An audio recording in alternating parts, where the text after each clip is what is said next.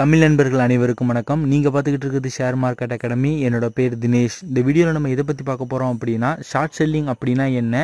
இந்த ஷார்ட் செல்லிங்கை நம்ம எந்தெந்த செக்மெண்ட்டுக்கு நம்ம பண்ணலாம்? ஜெரோதால் இந்த ஷார்ட் செல்லிங் நம்ம எப்படி பண்ணுறது அப்படிங்கிறத ஒரு லைவ் டெமோட இந்த வீடியோவில் நம்ம பார்க்க போகிறோம் இந்த வீடியோவை ஸ்கிப் பண்ணாமல் கடைசி வரைக்கும் பாருங்கள் ரொம்ப இன்ட்ரெஸ்டிங்காகவும் உங்களுக்கு யூஸ்ஃபுல்லாகவும் இருக்கும். வீடியோக்குள்ளே போகிறதுக்கு முன்னாடி ஷேர் மார்க்கெட்டில் இன்வெஸ்ட்மெண்ட் பண்ணுறதுக்கு demat account trading account open பண்ணணும்னு நினச்சிங்க அப்படின்னா இந்த வீடியோக்கு கீழே மற்றும் மற்றும் நம்ம சேனலில் உள்ள எல்லா வீடியோஸ்க்கும் கீழே ஓப்பன் டிமேட் அக்கௌண்ட் லிங்க் கொடுத்துருக்கேன். அந்த லிங்கை கிளிக் பண்ணீங்க அப்படின்னா அக்கௌண்ட் ஓப்பன் பண்ணுற பேஜுக்கு போகும். அதில் உங்கள் name mobile number email address கொடுத்து சைன் அப் பண்ணிக்கோங்க. அதுக்கப்புறம் உங்களோட PAN card Aadhaar card submit பண்ணி அக்கௌண்ட் ஓப்பன் பண்ணிக்கோங்க. வித்தின் ஃபார்ட்டி எயிட் ஹவர்ஸ்க்குள்ளே உங்களோட ஃபஸ்ட் டே நீங்கள் ஸ்டார்ட் பண்ணிடலாம். இன்வெஸ்ட்மெண்ட் பண்ணுறதுக்கு பத்து ரூபாய் இருந்தால் போதும். அது மட்டும் இல்லாமல் நம்ம சேனலோட சப்போர்ட் உங்களுக்கு எப்பயுமே கிடைக்கும். ஃபர்ஸ்ட் இந்த ஷார்ட் செல்லிங் அப்படிங்கிற கான்செப்டை பற்றி பார்க்கறதுக்கு முன்னாடி ஷேர் மார்க்கெட்டை பற்றின ஒரு சில இன்ஃபர்மேஷன் நமக்கு தெரியணும். எல்லாருமே என்ன நினச்சிக்கிட்டு இருக்காங்க அப்படின்னா ஒரு கம்பெனியோட ஷேரை நம்ம வாங்கி அது மேலே போனால் தான் நமக்கு ப்ராஃபிட் அப்படின்னு நினச்சிக்கிட்டு இருக்காங்க. ஆனால் உண்மை என்னன்னு பார்த்தீங்க அப்படின்னா நீங்கள் ஒரு கம்பெனியோட ஷேரை வாங்கி அது மேலே போனாலும் ப்ராஃபிட் உங்களுக்கு கீழே வந்தாலும் ப்ராஃபிட் நீங்கள் அதை எப்படி பை பண்ணுறீங்க எங்கே பை பண்ணுறீங்க அப்படிங்கிறத பொறுத்து தான் உங்களோட ப்ராஃபிட்டை அமையும்.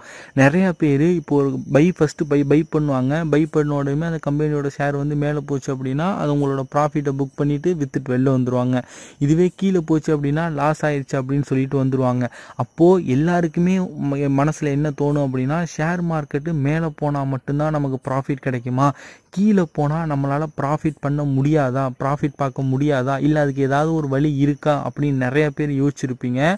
இருக்குது வழி இருக்குது அந்த வழி தான் இந்த ஷார்ட் செல்லிங் இந்த ஷார்ட் செல்லிங் அப்படிங்கிறது என்ன அப்படின்னா இப்போது மார்க்கெட் வந்து கீழே போக போகுது அப்படின்னு உங்களுக்கு தெரிஞ்சிருச்சு அப்படின்னா ஃபஸ்ட்டு நீங்கள் அதை செல் பண்ணிவிட்டு நெக்ஸ்ட் அது கீழே போனதுக்கப்புறம் நீங்கள் பை பண்ணீங்க அப்படின்னா உங்களுக்கு ப்ராஃபிட் கிடைக்கும். இதை தான் ஷார்ட் செல்லிங் அப்படின்னு சொல்கிறாங்க இந்த ஷார்ட் செல்லிங்கை பற்றி சிம்பிளாக ஒரு வரியில் சொல்லணும் அப்படின்னா ஃபஸ்ட்டு நீங்கள் வித்துறணும் அதுக்கப்புறம் வந்து வாங்கணும். அதாவது இப்போ உங்களுக்கு ஒரு கம்பெனி மேலே போக போகுதுன்னு தெரிஞ்சதுன்னா என்ன பண்ணுவீங்க? ஃபஸ்ட்டு அந்த கம்பெனியோட ஷேரை வாங்குவீங்க. நல்லா மேலே போனதுக்கப்புறம் உங்களோட ப்ராஃபிட்டை புக் பண்ணிவிட்டு செல் பண்ணிவிட்டு நீங்கள் வெளியில் வருவீங்கல்ல? அதே போல் ஒரு கம்பெனி கீழே போக போகுதுன்னு உங்களுக்கு தெரிஞ்சிருச்சு அப்படின்னா ஃபஸ்ட்டு அதை வந்து செல் பண்ணிடணும். நல்லா கீழே இறங்குனதுக்கப்புறம் அதை பை பண்ணீங்க அப்படின்னா உங்களுக்கு வந்து ப்ராஃபிட் கிடைக்கும்.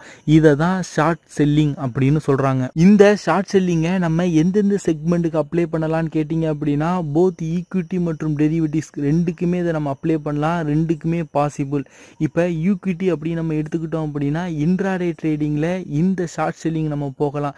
இன்றைக்கி காலையில் மணி ஒம்பதே காலுக்கு இன்றைக்கி ஒரு கம்பெனி கம்பெனியோட ஷேர் உதாரணமாக ஃபெட்ரல் பேங்க் இன்றைக்கி கீழே போக போகுதுன்னு உங்களுக்கு தெரிஞ்சிருச்சுன்னு வச்சுக்கோங்களேன்.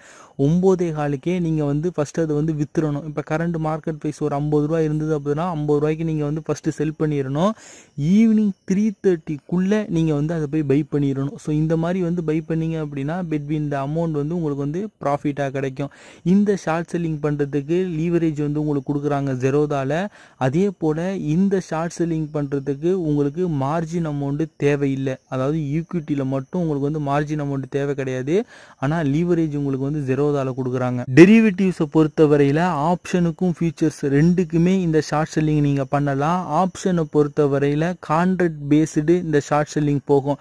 முந்தியெல்லாம் பார்த்தீங்க அப்படின்னா மந்த் பேஸ்டு கான்ட்ராக்டாக இருக்கும். அதாவது எவ்ரி மந்த்து லாஸ்ட்டு தேர்ஸ்டே வந்து கான்ட்ராக்ட் முடியும். இப்போ பார்த்தீங்க அப்படின்னா வீக்லி கான்ட்ராக்ட் ஒவ்வொரு வீக்கும் கான்ட்ராக்ட் முடிகிறது போல் வச்சுருக்காங்க. ஒவ்வொரு வீக்கும் தேர்ஸ்டே வந்து என்னென்னா கான்ட்ராக்ட் முடிகிறது போல் இப்போ கொண்டு வந்திருக்காங்க.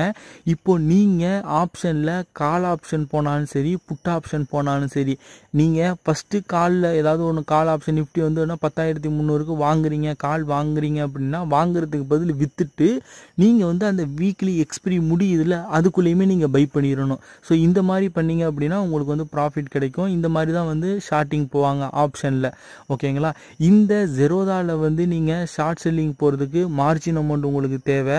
ஸோ இது வந்து எல்லா ப்ரோக்கருமே உங்களுக்கு வந்து மார்ஜின் அமௌண்ட் வந்து நீங்கள் மெயின்டைன் பண்ணணும் அப்படிங்கிற மாதிரி சொல்லுவாங்க. இதுவே ஃபியூச்சருக்கு போனீங்க அப்படின்னா ஃபியூச்சர்லேயும் நம்ம வந்து ஷார்ட் போகலாம் அதில் எப்படி அப்படின்னா இந்த மாதிரி தான் வீக்லி கான்ட்ராக்ட் மந்த்லி கான்ட்ராக்ட் இருக்குல்ல நீங்கள் வீக்லி கான்ட்ராக்ட் எக்ஸ்பிரி ஆகுறதுக்குள்ளேயே ஃபஸ்ட்டு செல் பண்ணிவிட்டு பை பண்ணிடணும். அந்த ஃபியூச்சர் பண்ணுறதுக்கும் உங்களுக்கு வந்து மார்ஜின் அமௌண்ட் வந்து உங்களுக்கு தேவைப்படும்.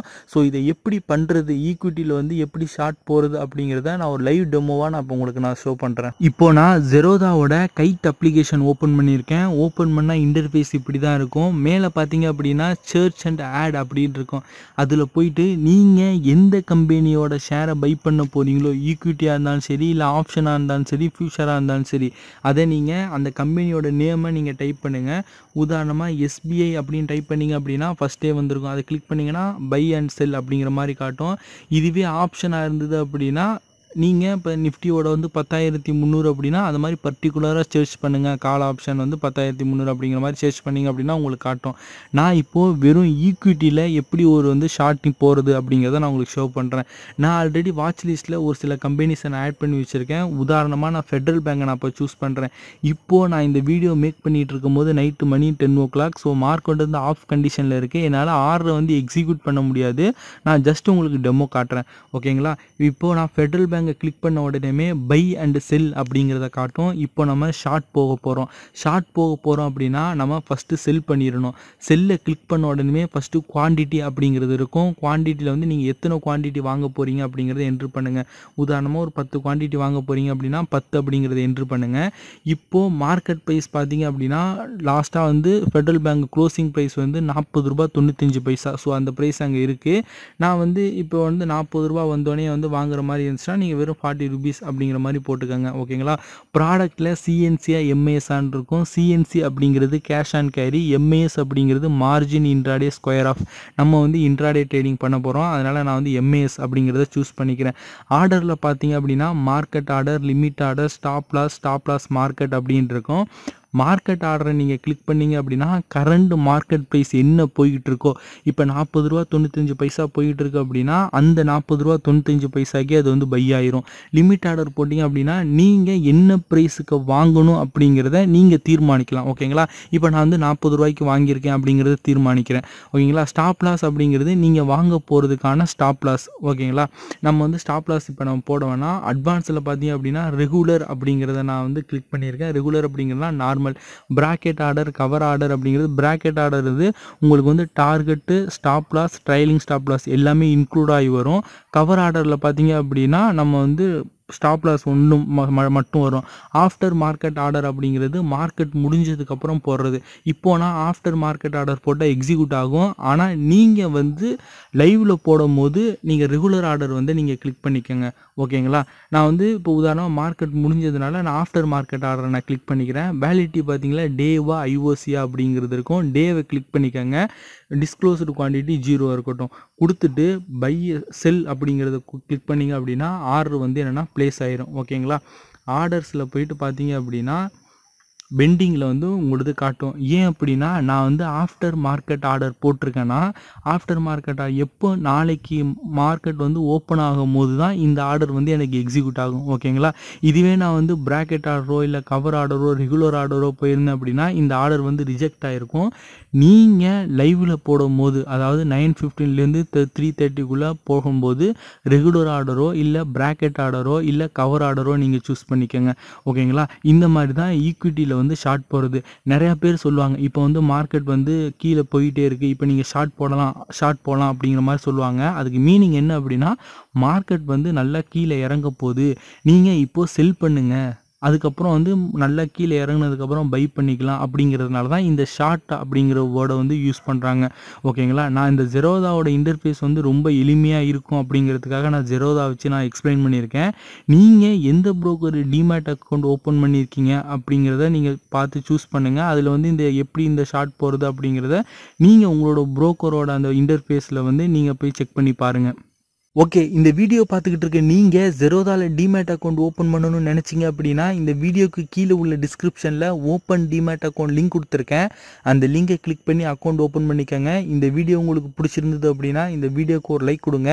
இந்த வீடியோ பற்றின கருத்துக்கள் மற்றும் உங்களுக்கு இந்த ஷார்ட் செல்லிங் பற்றி ஏதாவது சந்தேகம் இருந்தது அப்படின்னா கீழே கமெண்ட் பண்ணுங்கள் கண்டிப்பாக நான் ஆன்சர் பண்ணுவேன். மறக்காமல் இந்த வீடியோவை உங்கள் நண்பர்களுக்கும் ஷேர் பண்ணுங்கள் இந்த மாதிரி ஷேர் மார்க்கெட் ரிலேட்டடான வீடியோஸ் கண்டினியூஸாக உங்களுக்கு வேணும் பார்க்கணும்னு நினச்சி நினச்சிங்க அப்படின்னா நம்ம சேனலை சப்ஸ்கிரைப் பண்ணிக்கோங்க.